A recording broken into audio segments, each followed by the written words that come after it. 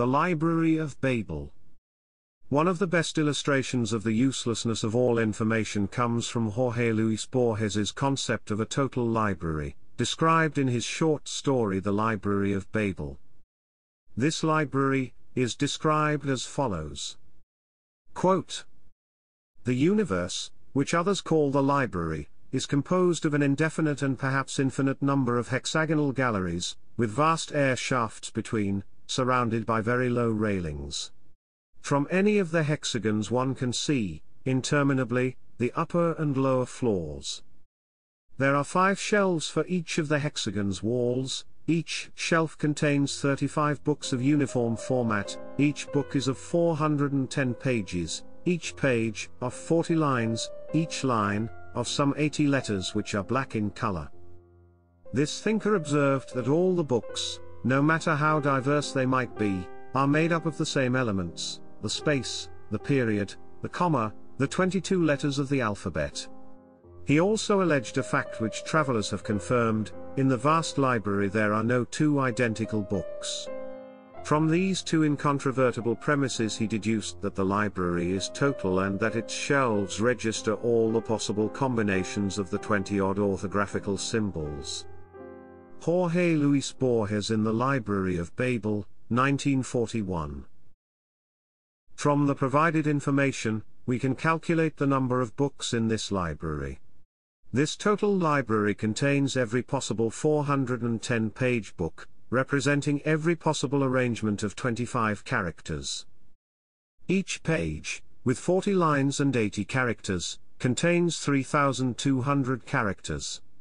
Each book, with 410 pages, contains 410 times 3,200 or 1,312,000 characters.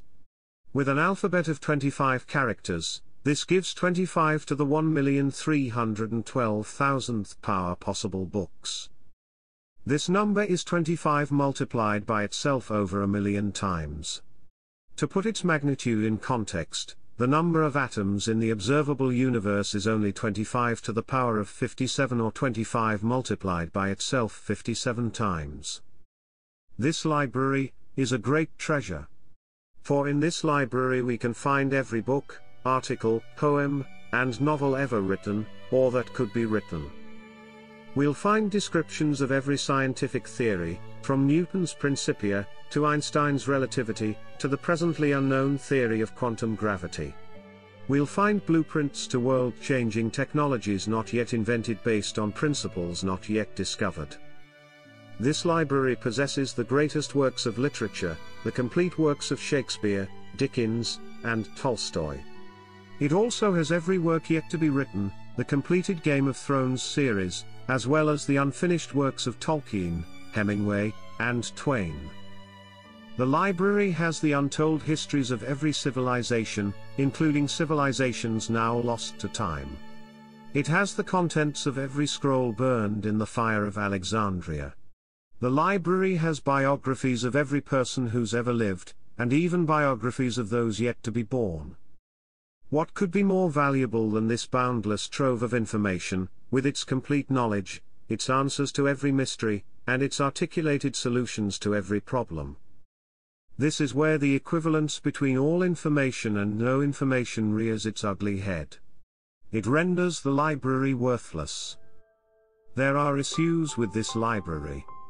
To start, for every valid theory, technology, history, and autobiography in the library, there are countless others that are subtly wrong, inaccurate, or utterly bogus.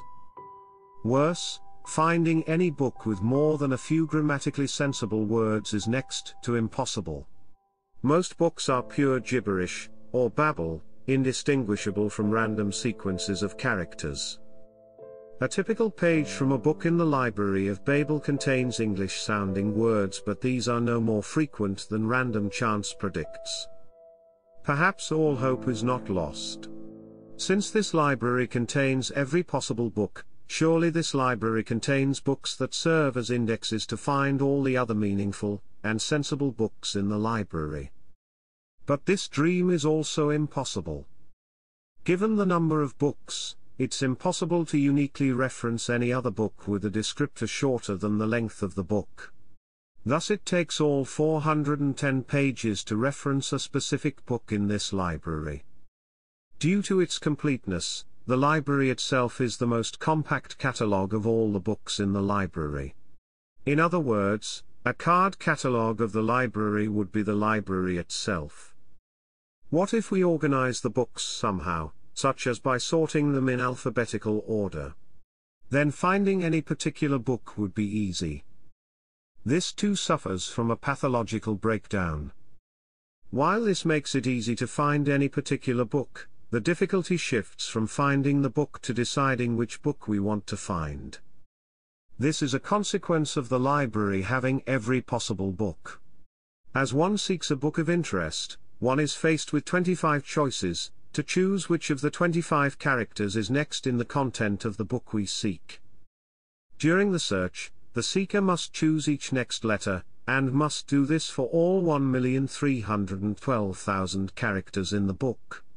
Thus, finding a book in this library is as difficult as writing the book in the first place.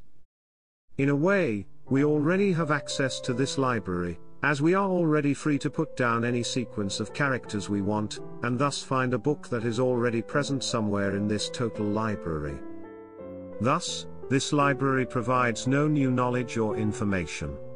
Its set of all books is as helpful to us as if it had no books.